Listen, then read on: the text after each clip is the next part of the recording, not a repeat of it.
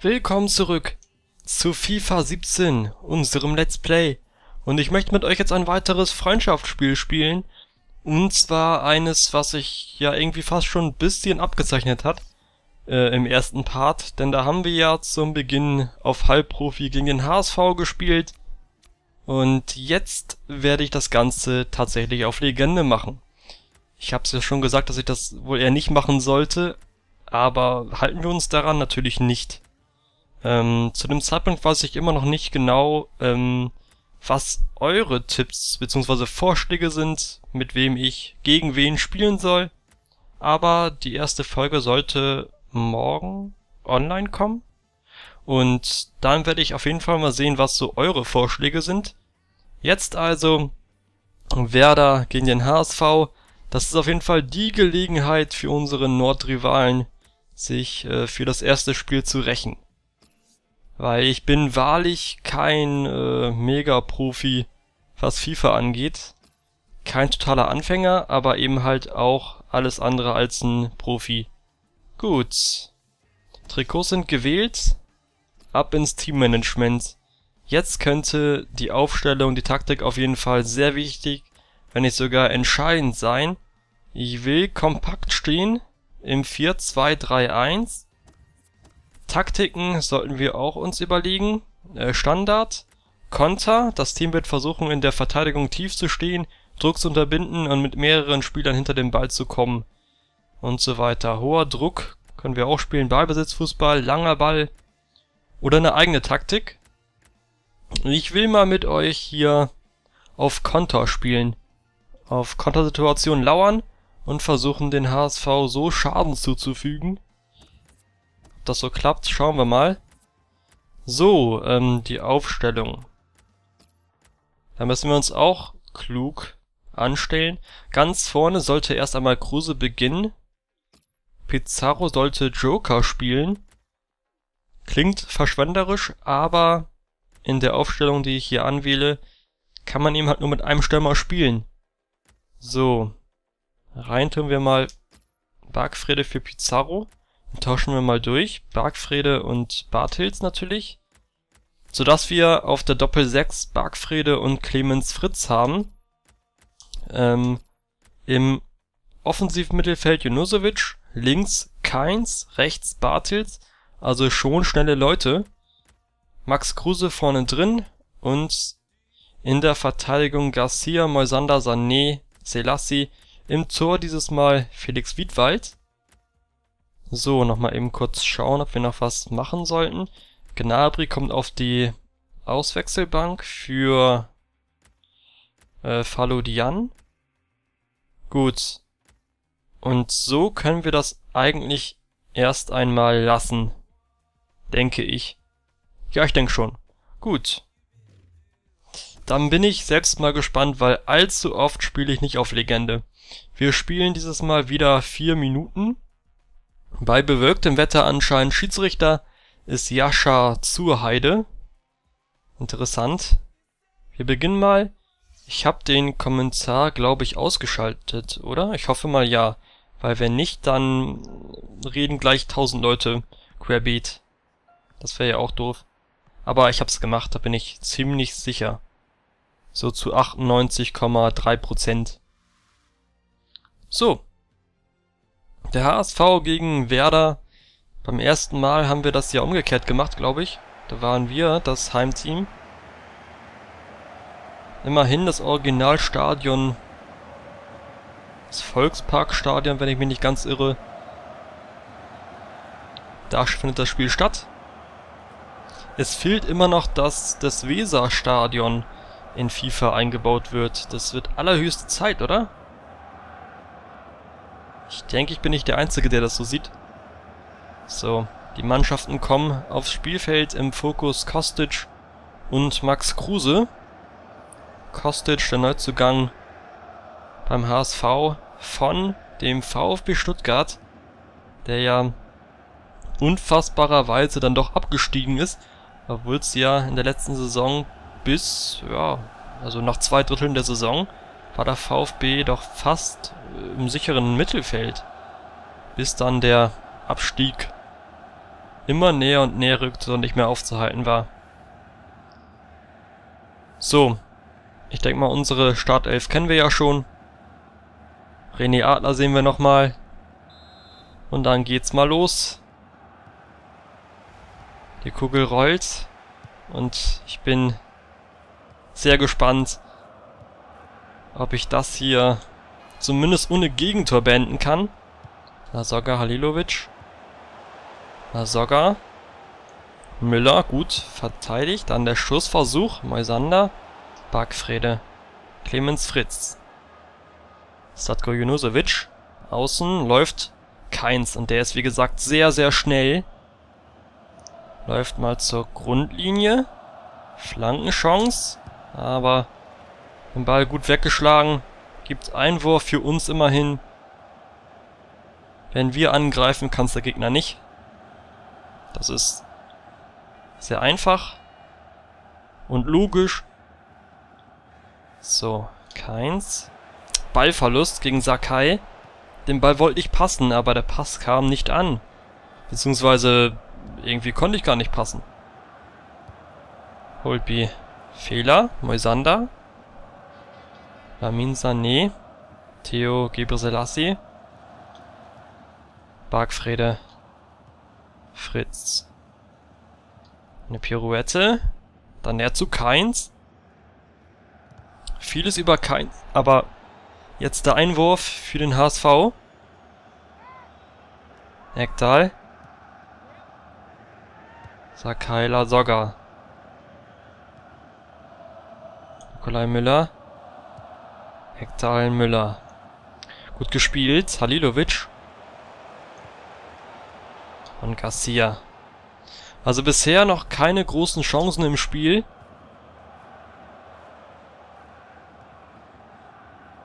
Das ist äh, durchaus positiv.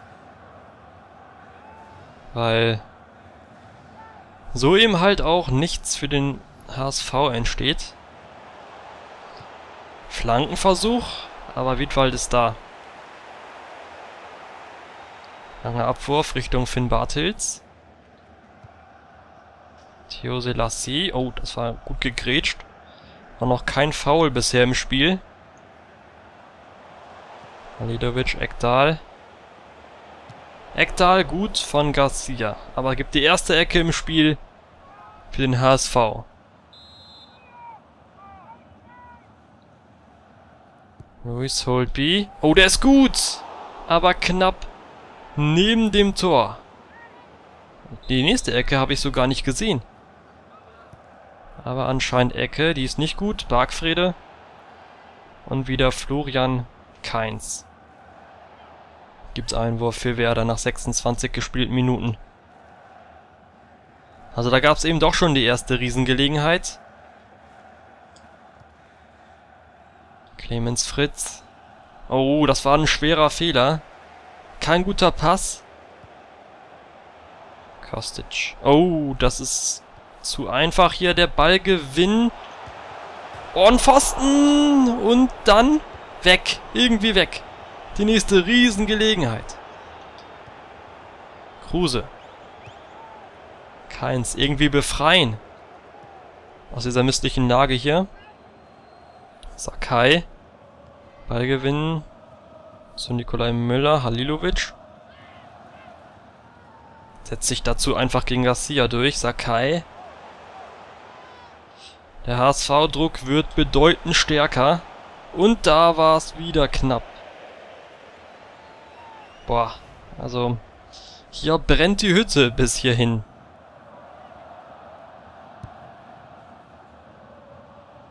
Selassie. Philipp Bargfrede, Junusovic. Clemens Fritz. Und jetzt vielleicht mal zu Keins. Junusovic, aber der Schuss kommt nicht mal in Richtung Tor. Ja, noch ohne Abschluss bisher. Kruse mit gutem Einsatz. Keins. Ja, wieder nicht gut. Defensive in Hamburg gut sortiert. Hier zumindest.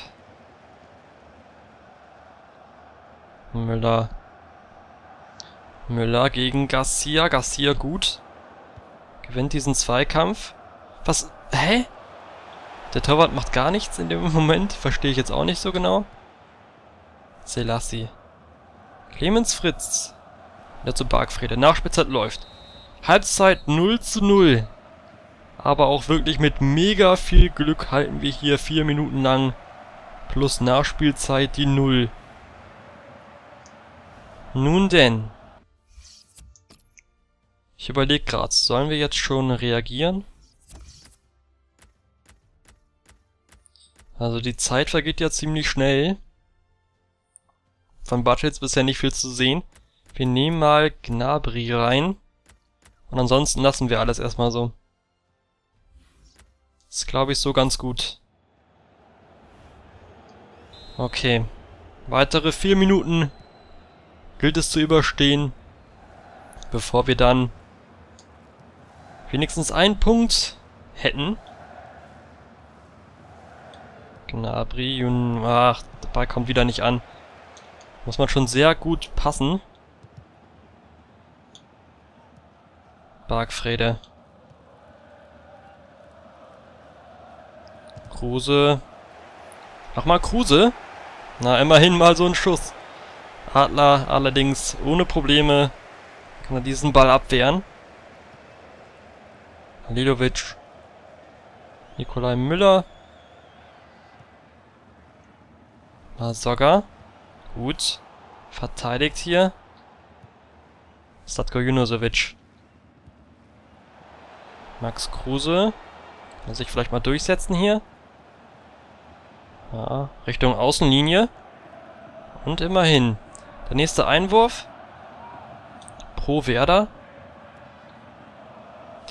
Das war nicht gut. Der einen Ball verspringt. Bargfrede. Spahic, Kostic. Noch knappe 30 Minuten. Sakai. Nikolai Müller. Sakai. Immer noch Sakai. Der passt, aber der kommt nicht an. Zum Glück, kann man da nur sagen. Gnabry, Philipp Bargfrede. Statko Junosovic setzt sich da durch. Stark. Und dann immerhin Einwurf. Es gibt wieder Zeit. Also, wir haben zwar keine Chancen, aber immerhin halten wir die Null. Bis hierhin. Aber die Ballverluste immer viel zu leicht. Das äh, muss anders und besser werden vor allen Dingen. Louis Holtby. Jung. Kostic. Ah, der passt nicht so schlecht, Moisander, aber da. Clemens Fritz. Statko Junusovic. Das war ein Foul, oder? Würde ich auch mal so sagen. Kann man fast sogar schon gelb für geben, auch wenn es das erste Foul war. So sieht's mal aus. Die erste gelbe im Spiel. Für Louis Holtby. Da gibt's mal Zunder. Ich finde auch hier in dem Spiel werden die gelben, manchmal auch die roten Kartons, etwas zu schnell gezogen. Selassie. Immerhin mal eine Flanke. Die allerdings ohne Wirkung verpufft. Nikolai Müller. Das war zu einfach. Gut gemacht von Keins. Max Kruse. Nochmal Kruse. Ach Mann, ich will da mal durchrushen, aber das geht nicht so einfach. Leider. Kostic. Oscholek. Hans. Der Ex-Bremer. Kostic. Aber Bargfrede ist da. Die letzten Minuten laufen. Kein Tor bis hierhin. Statko Junosovic. Ach Mensch. Es ist nicht einfach da durchzukommen, ganz ehrlich. Vor allen Dingen, da ich defensiv aufgestellt bin. mit defensiver Grundordnung. Dann ist es noch schwieriger, allerdings sonst kriegen wir die Hütte voll. Vermutlich zumindest. So. Die letzten Sekunden des Spiels laufen. Holt B. Und da ist Wiedwald auf jeden Fall da. Wichtig. Und jetzt die wahrscheinlich letzte Chance der Partie. Wiedwald. Und das war's. Keine Tore. 0 zu 0. Zwischen uns und dem HSV immerhin, wir haben nicht verloren. Es waren zwar nur zweimal vier Minuten, aber immerhin, acht Minuten lang, kein Gegentor ist okay. Allerdings hatten wir, offensiv dafür auch wirklich keinerlei Aktion. Wir hatten zweimal wirklich Glück gehabt, dass da kein Tor gefallen ist. Aber Hauptsache gewonnen, beziehungsweise der gefühlte Gewinner. Äh, das ist ja auch schon mal viel wert. So. Ach so, wir können sogar noch weitermachen natürlich. Das habe ich jetzt natürlich ganz vergessen. Ähm. Golden Goal oder klassisch? Oder Elfmeterschießen einfach mal, oder? Ich würde mal sagen, wir machen mal einfach Elfmeterschießen. So, Kruse beginnt. Daniel Nusovic. Ähm, wer ist da noch ganz gut im Elfmeterschießen? Keiner hat gute Werte. Bis auf Kruse und Junusovic. Nehmen wir mal Garcia. Gnabry. Achso, man kann nur die ersten fünf quasi in die Reihenfolge bringen. Lassen wir es einfach so. So, kann ich das einfach bestätigen oder so? Ja, kann man. Sehr gut. Dann geht's mal direkt los. Ich habe allerdings keinen Plan, wie ich da den Torwart steuern muss. Einfach mit dir stehen bleiben wahrscheinlich, ne? Nö. Erwin Hunt trifft. Und jetzt Latko Junusovic. Ah, Tor. 1 zu 1. Lasogga und ich hoffe mal, er schießt direkt in die Mitte. Nö, auch nicht. Gut platziert. Und jetzt muss das klappen. Boah. In die Mitte reingehämmert. Nikolai Müller. Was wird der jetzt fabrizieren? Oh, Pfosten und Tor. Oh Mann, oh Mann, oh Mann. Und das nächste Tor. Bisher treffen alle, die Torhüter sehen oft ziemlich ja, doof aus. 3 zu 3 nach Toren. Noch zwei auf jeder Seite. Was wird passieren? Oh, Pfosten! Das war kein Tor. Damit haben wir jetzt die Gelegenheit. Und aber Adler hält auch. Und aber vor allen Dingen. Oh nö. Toll. Und der nächste Fehlschuss von Louis Holby. Das müsste heißen, dass wir jetzt die Chance haben, das Spiel zu gewinnen. Clemens Fritz, der Kapitän. Nein! Warum? Wollte ich doch gar nicht. Da sollte er nicht hinzielen. Das sollte ein Schuss in die Mitte werden, lol. Aber Wiedwald hält auch, weil ich nichts gemacht habe. So, jetzt haben wir wieder die Chance.